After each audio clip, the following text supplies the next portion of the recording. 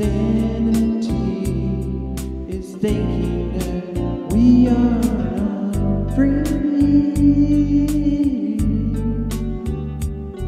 Insanity will take away pressures of believing we're trapped.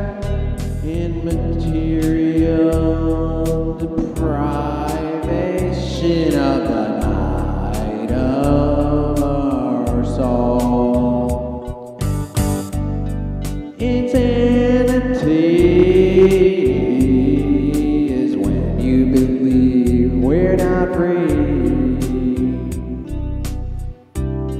We were born into an illusory light.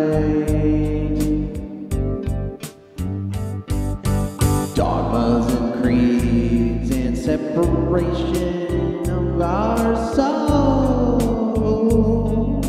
Yeah. When you do not believe we're reach insanity, insanity, in ecstasy.